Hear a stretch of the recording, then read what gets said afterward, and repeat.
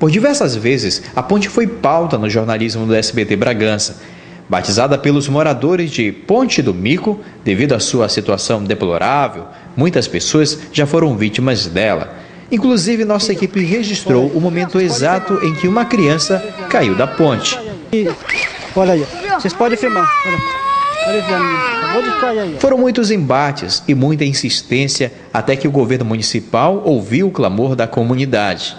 Antes, a ponte só dava dor de cabeça aos moradores aqui da Doutor Gutierrez. Hoje, refeita e totalmente de concreto, a nova ponte traz conforto e segurança aos moradores da comunidade.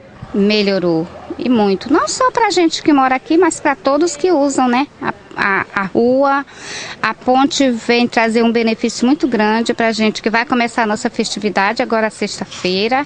Tão satisfeita que está com a nova ponte, Dona Aldinéia aproveitou a reportagem para convidar a população para a festividade do Santo Padroeiro, que deve acontecer na comunidade nos próximos dias. O povo em geral estão todos convidados para vir participar com a gente. Vai do dia 1 até o dia 13. Eu estou vendendo meu peixe também, né? Da festividade. pois é, e então a, a, ponte é muito. Isso foi excelente. Pensei que não ia sair antes da festa, mas graças a Deus fizeram, tá muito bom.